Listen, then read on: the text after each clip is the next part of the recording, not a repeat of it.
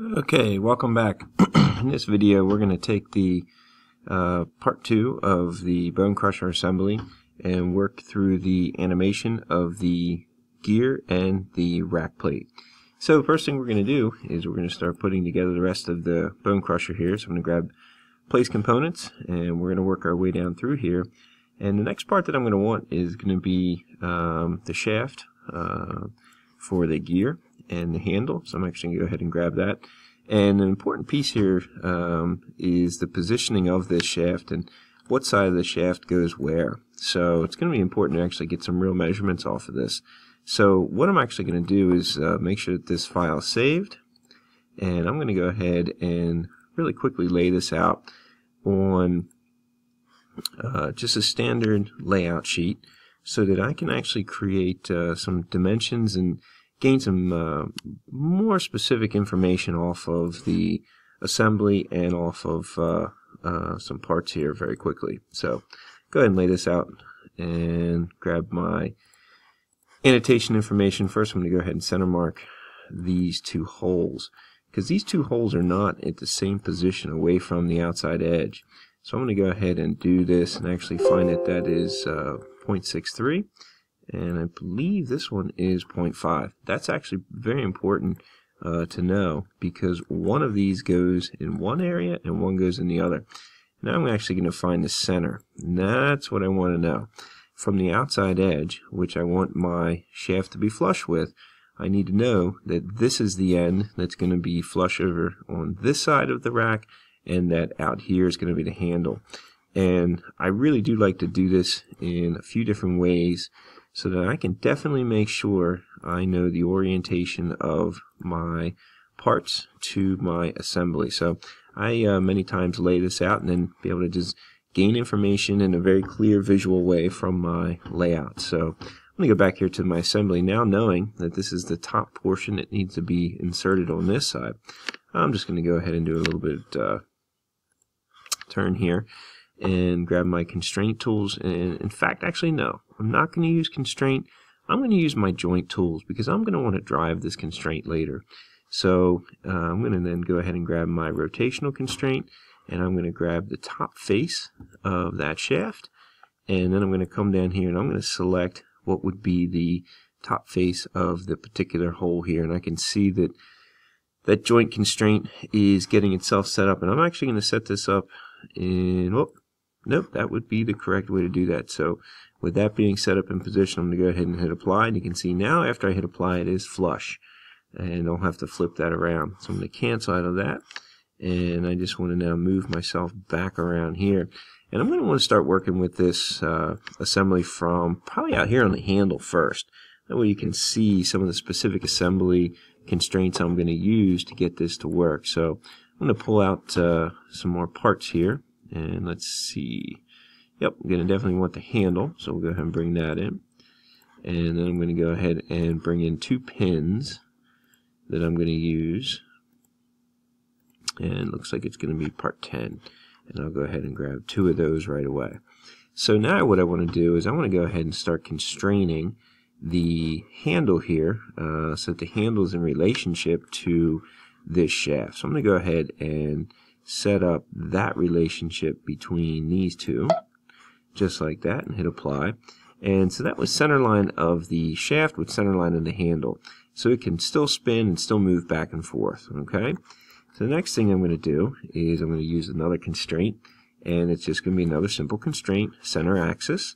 And I'm going to go ahead and put it center axis here of the shaft. And just to see the relationship, slides up and down, shaft actually can still spin and turn, but this will slip right on out. In fact, I want to pull that out a little bit.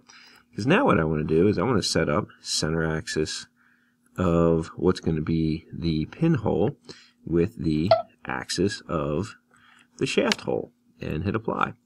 Now this should actually slide on in without any issue and I'll go ahead and constrain that using a tangent constraint. So I'm going to constrain that face to this face and actually let's flip it around that way so it's flush. Good. Hit apply and cancel. Now what's important to see, and I want to go ahead and turn this a little bit so you can actually see down inside here, and I'll push this up a little bit, is what we should be able to see is as I move this around, oh, still can't see that hole move. So I'm going to try and position this a little bit better so you can see down inside here, you can see this hole move. There we go. So my handle is actually driving the motion of the motion of that particular shaft. So now to make this work out a little bit easier for all of us, I'm going to go ahead and well, let's spin this thing around the right position here first. I want to go ahead and hide or turn off the visibility of uh, this part 4 1. So we'll go ahead and turn that off. That way we can see what's going on inside here just a little more clearly. So I need to go ahead and now constrain. Move my handle out of the way too. I want to go ahead and constrain the gear in the same way where I grab my joint. Oh, I'm sorry, not joint constraint. Constraint and just grab the center axis and select center axis. Okay, so those two are all set. Now what I want to do is set up the constraint for my pin into the necessary holes here. So we'll go ahead and spin this thing around until I can find the hole on this gear. Actually, let's turn my view is what I was trying to do here.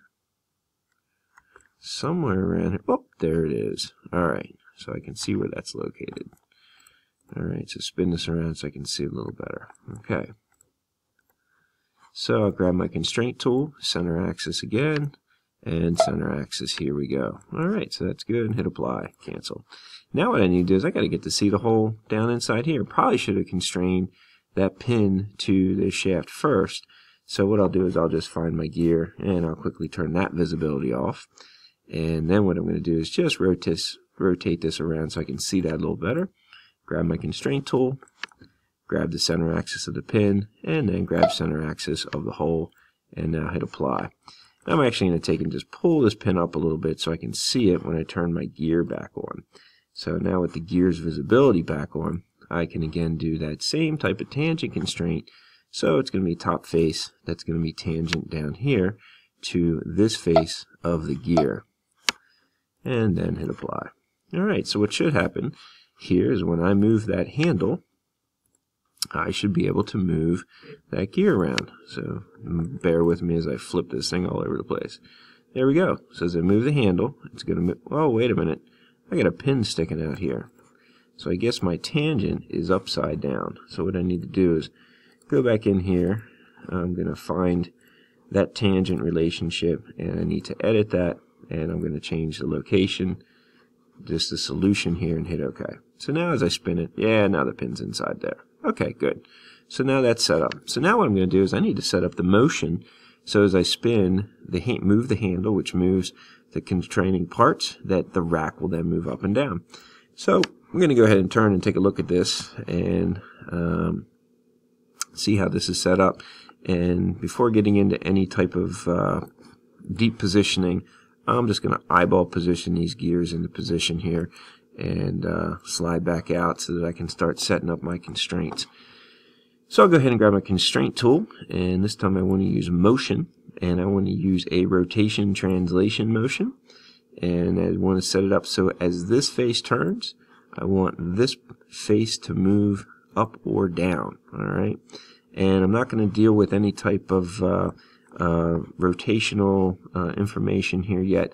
I'm just going to work through here and see does I move one? Yep, it moves. Now, as you can see, it's actually moving backwards. All right, so that's not what I want to have happen. But I'm going to go back in here to this rotation translation and we'll edit that. So I'm going to just change the solution.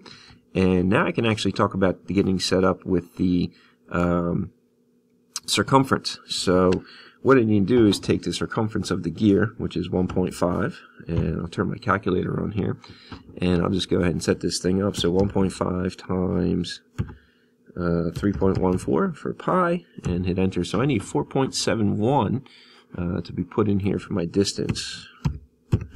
4.71, good. So now what should happen is we should be moving at the proper setup and proper relationship here. So let's just take a look at this. Yep. So it looks like the gear teeth are moving properly and this should this should work. Now what I can do is go ahead and just turn back on the um, arm. So let's go ahead and set that visibility back up and see nothing changed, nothing happened. So now the last thing to do here is we can drive some constraints. All right, so to set up a, a constraint drive, part that I actually used a joint on, and that would be this shaft, is what I'm going to find. So it's uh, part 9, 1 here. So I'm going to go ahead and grab uh, that particular part, open that up, because it's that constraint, that uh, rotational constraint, is what I'm going to right click on and then select the drive option here. Driving a constraint means that this constraint should be able to move given the certain parameters of motion. What it's saying here is that the start is being set up here at a minimum and then there's an end or start here, the start and stop. So as I hit play, you can see it moves very slightly because it's only moving a few degrees.